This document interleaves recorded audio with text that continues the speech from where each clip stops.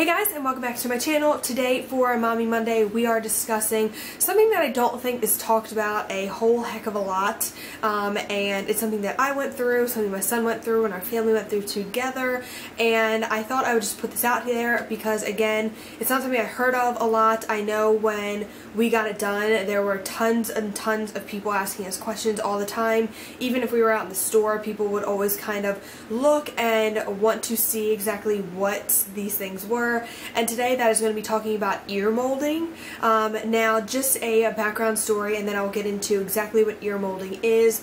When my son was born he wasn't born with what I would refer to as a deformity. It was a physical feature about him but it was just the way that he had been sitting in my stomach had made his ears form a little bit differently than what is normal. So in your ears one of them was simple. All it was was it was bent down, but it was literally bent in half. Um, and obviously most people are like, oh, well when it gets out of the stomach, it'll just kind of flop up. So we were thinking, oh, you know, we're not really too concerned. We're just going to watch it and see what happens. But it was literally folded in half. Like, it wasn't uncomfortable. Like, it was, like, bendable because obviously when they're first born, their cartilage is not hard by any means. So it was just kind of slumped over, didn't bother him, didn't affect his hearing at all. Now, this one, if you'll see, let me move my hair, you have like this curvature of the ear that flips inward. And right here, it flipped outward. And that's because right here where your, um, the creases in your ear naturally go to a Y, his was missing the outer portion of the Y. So it just kind of went in. So therefore this was not being pulled in and it was out. So it just kind of made this ear really stick out while this one obviously stuck in from being bent over. So um, obviously after you have a child, about two or three days after you get out of the hospital, you have the first checkup in the doctor's office. And when we went, it was just something that we asked the pediatrician, you know, is this something that over time this will change? Is it something that needs to be fixed or seriously looked at? Is it going to hurt him in any way? We just had tons of questions because being first-time parents, as well as even if I grew up in a big family, I've never seen that. And so many people would always like if they saw certain family members um, would come in and be like, oh, like that's why we taped the ears back in my day and different things like that. But I never really took it seriously or knew what they were talking about. pediatrician directed us to a plastic surgeon within the area that he had actually met with before at like some medical convention or something. But um, he had heard of that does what is known as ear molding. So we didn't learn too much about the, from the pediatrician about it. Just just the fact that it would hurt help his ears. Um, so I made an appointment. We were told to make it within like the first 10 days of life because he said that in the ear molding the sooner you get it done the better because once the cartilage starts hardening you don't really have much of a choice to change whatever is going on. So we made an appointment. Luckily we got in within the first week of his life. Um, so with all of his doctor's appointments I swear my son saw literally every doctor that you could think of, um, including now a plastic surgeon. So we are on our way there. I talked to the person, they took a look at their ears, or at his ears, and um, overall what we decided was the only way that his ears would ever look normal is if we did something called an ear mold. Now before I get into that I just want to kind of throw a little thing out there. I totally understand that babies are unique and things like this are um, very, um, I want to say touchy subjects. Uh, it's something that my husband and I thought about for a very long time. Some people would have just said, you know, why didn't you just leave his ears the way they are? Like, he's unique about it. You know, no one would ever make fun of him. It's a physical thing. Don't worry about it. But in today's world, there's so many bullying and, you know, it's just ridiculous. And it's just one less thing we wanted to make um, we didn't want to make it hard on him physically. Like if it's something that we could fix, we wanted to fix it right then. It's just in today's world, things like that just make me so nervous. And if it's a simple fix, something that's not going to hurt him, it's not surgical, you know, why not at least consider it? So that's what we went in thinking. If it was something that was non-invasive, and we could afford it, we were going to do it. Um, but his little physical issue did not hinder him at all in hearing, so this was strictly a physical appearance thing.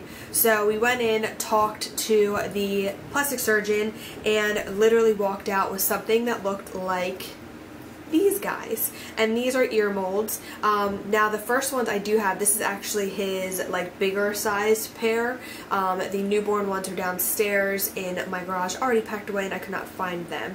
But um, an ear mold is literally, this is like silicone. It's like rubbery kind of material, not hard plastic at all, very breathable. Um, this is just like, it's not a band-aid, it's like that sticky body tape um, kind of like a band-aid, but it's just, it just adheres to the skin.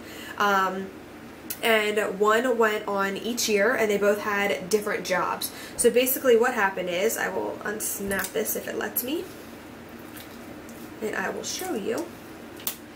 So she would begin by um, shaving the sides of his hair right around where the mold needed to go because that tape needs to stick to the skin and hair can't get in the way and obviously my son had a ton of hair so it needed to be cut. If your child doesn't have any hair you won't have anything to worry about but it had to adhere to his skin directly um, and they would go in I'm using the wrong one. I'll use this ear then.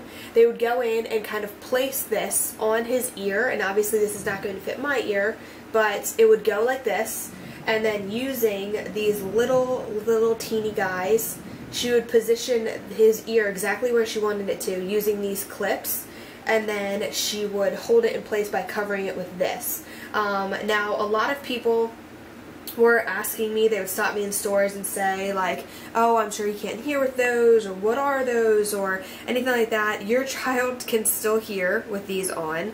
There is no hindrance uh, of that at all. He never showed any sign of discomfort. In fact, the first time that he got them on, he literally slept through it. Like, that's how, like, comfortable he was. It was nothing like he was uncomfortable in any way. That's just not the case. Um, now, there are some times where he cried, but it wasn't because it hurt. It would have been because, like, he was tired or he didn't want to lay on his side or something like that. But generally, we had a very good experience with the plastic surgeon. Um, the hardest part about this was the, the time. So, I'm just trying to clip this. I'm not, like, trying to not pay attention to you guys. So, um, the time that they had to stay on was about six to eight weeks. It really just comes down to your child's body. If the cartilage cartilage hardens within six weeks, you won't need anything. If it takes eight weeks, you know, it may be a little bit longer. So he had these on up until he was a little bit, oh, I don't know, maybe he was two months because he got them on the first month of his life. Six weeks later, it kind of takes you around two months. Um, he did have them on for the full six weeks, and then the last week, it is just tape. That is all. Um, and that's when they feel like there's no more movement. It's just kind of to um, keep the ears exactly where they need to go or stay um, while the cartilage makes its last, like, final hardening step um, and the tape looks exactly like the backing tape on this. So it's nothing too extreme and literally it just held his ear like this versus having this entire cover. Um, now, this I said were his biggest sizes because the other ones fit his entire ear in, whereas when he got bigger, it kind of let his lobe hang out. Um, and these would sit on, we would go back once every week to two weeks, depending on how long these would stay on. Um, when he was newborn, he wasn't really fascinated with his ears, so these would stay on for two weeks, no issue. But as soon as he was like feeling around, he loved to play with his hair, and he felt his ears, he would rip them off all the time. And one time we had to go twice in a week to have them because obviously you are paying good money for these to go on and if you have them off for a long period of time that can change. It's just like if you wear braces but you don't follow it with a retainer your teeth can shift back. So it's the same thing and obviously you only have a certain amount of time for that cartilage hardens so anytime that they fell off or looked loose we had to go back and get them replaced and readhered. Um, so finally after six weeks we got the all clear that he was good. If I can find any kind of like before, during, after kind of stages, I will definitely like put them somewhere here. But we saw a tremendous um, difference in his ears. This one looks completely normal and it now curves in and this one has a little bit of a lip, maybe like that much that hangs down, but compared to the completely in half, um, it is you can't even tell the difference. Um, you can't tell he had any work done, he will never know he had work done, and completely non-invasive, and, you know, it didn't do anything to his ears. It just helped them form the way they should. That's all it is. It just helped them form in a way that would make them have more of a normal appearance. Um, Now, I don't know the procedures for if you get there too late, but what I am saying is if you happen to have a child that has certain things like that, there are things you can do should you want to. Now, when it comes to price, it can be very, very expensive, obviously, if you're going to a plastic surgeon, but I will say our insurance happened to cover it, and when I went, that was one of our biggest things. Um, it was around two grand, I want to say, and there we did get a little bit of a break because we did both ears instead of one, and um, it went through our insurance, I think because it was more so like a physical at birth um, I don't want to say deformity because just I don't want to use that word. It just is not a deformity, but it was just something of physical nature that was not caused by anything except for when he was born. It just happened to happen. So our insurance I know covered it. So if you have any any people that just had kids or is wondering if something like this ever exists or if you're thinking of having kids and one day this helps you I you know I just wanted to put it out there so that people know this is a thing. Definitely spreading the word and um, just talking a little bit more about it because I know we got so many questions when he had these molds on his ears. Oh, and as a little tip, when you have them on, you are not allowed to bathe them. So we literally gave him a sponge bath every night of his life. And I'm telling you right now, if you've ever had a cast, these will start to smell like a arm that has been covered in a cast and not been able to be washed because you can't wash these or else it lifts the tape up. Um, so he was sponge bathed for a very, very, very long time. But we made it through and I'm sure he will be happy that we did it and we are very happy that we did it but like I said if this helps anyone I hope it does, but just wanted to say a little bit more about it. If you guys follow me on Instagram, which I'll link around here, um, and you look back in my pictures, you will probably see a lot with his molds on.